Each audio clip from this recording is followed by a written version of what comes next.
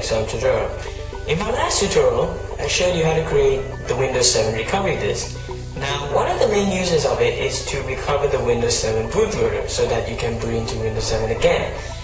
And in this tutorial, I'm going to show you how to use the Windows 7 recovery disk to recover your Windows 7 bootloader so that you can boot into Windows 7 again. Now, you might come up with this problem when you're going to dual boot. Uh, when you install Windows XP along with Windows 7 or any other operating system, uh, you might not get the option to boot into Windows 7 and you will boot into your newly installed operating system instead. So what this tutorial should tell you is how to recover the bootloader and how to boot into Windows 7 again and then you're going to use a third-party software uh, called EasyBCD to add the option to boot either Windows 7 or the other operating system. And if you want to watch that video, it should pop up on your screen right now. All you have to do is just click it. And if you have not seen the video on how to create a Windows 7 recovery disk, that pop-up should appear on your video right now as well. Okay, so uh, what now? Well, I booted up from the Windows 7 recovery disk, and at first, if you're using it for the first time, you should get a list of partitions. Actually, at first it's going to scan your computer for any Windows 7 partitions. It's going to specifically search for any Windows 7 partitions. It won't scan for any others.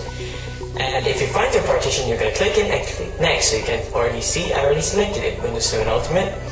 Now this recovered um, option was a long time ago on local disk C. Now what you're going to click is command prompt. Yes, we're going to be messing with command prompt for a while, but this should be very, very easy. So, first off, you're going to type boot rec. Now you should get a couple of options. What we're going to be messing with today is the first, second, and the fourth option. So all you have to do is just basically type boot rec and then fix MBR, which is you know, the first one that you see right here. Type that. Okay. And the operation completed successfully. Next one.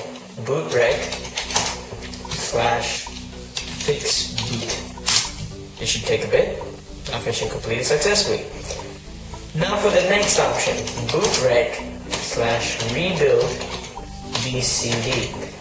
Now I'm not pressing enter for this one because my bootloader is already working perfectly so there's no point typing this in. But this is an important step. This option will basically, um, how do I say this? Reset your whole BCD configuration, meaning that it's going to reset or clear the whole list in your Windows 7 bootloader. Now your bootloader is already recovered, but what Rebuild BCD should do is should clear the whole list. Now you have to make a new list on your own. Now that's what we're going to use with the EasyBCD software. Just check out that video. And, uh, well, this is if you're dual booting. Otherwise, fix MBR and fix boot should be fine. But if you have dual booted with Windows XP or any other operating system, then I suggest you type in this option as well. Otherwise, if you're just trying to recover the bootloader or if you want to boot into Windows 7 again, then the first two options, which I just typed, is enough, okay? So I'm not going to press enter for that. And now what we need to do, now if you have pressed enter on uh, the rebuild BCD option, then you have one more step to do. So next up we're going to type disk part. Now this is kind of like a software in MS-DOS which is kind of like partitioning using MS-DOS itself. So um, once disk part starts, we're going to type list drives. And what this should, sorry, type the wrong, list drive uh, disk my bad, list disk way. Now what you should do is you list your total hard drives in your computer. So disk 0 is my computer's hard drive, 298 gigabytes. How much is free? This is wrong. This is really wrong right now. Disk 1 is my external hard drive, which is supposed to be 160 gigabytes, but it's 149. Okay, so what you're going to do is you're going to select on your hard drive which has Windows 7 in it. So that's obviously disk 0. So select this 0 and that should be selected.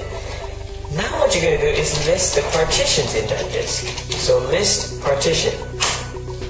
So of course there are two partitions. One is the recovery partition and the other is your Windows 7 partition, partition which is partition 2, which is 285 gigabytes. So, uh, partition 2. So now select partition 2. So partition 2 is now the selected partition. And you're going to type in active, I believe. So once you type active, this part mark the current partition as active. Now, what did I just do? So what you just did, you selected your hard drive. Of course, you know which hard drive it is. Then you selected your Windows 7 partition, which is partition 2, as it's listed over here. And then, what did I do in the active part? Well, when you type active, when you reboot your computer, it should boot into partition 2, which is your Windows 7 partition. So it has marked it as active, which means the next time you reboot, it should boot into this partition itself. So now what you're going to do, well, you're done. So exit. can just close from there. So now what you just did is you marked the Windows 7 partition to boot right now. So if I restart my computer and exit, uh, let me just take the recovery disk out right now.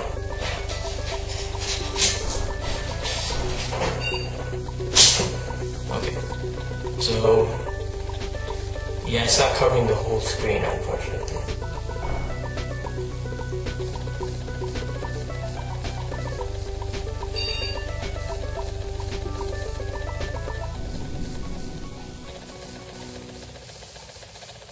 And then you finally should be able to boot into Windows again.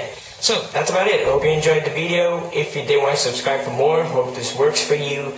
Um, again, after that, if you have typed that rebuild BCD option, it's going to clear your whole bootloader uh, options and you will have to manually do it in Windows itself.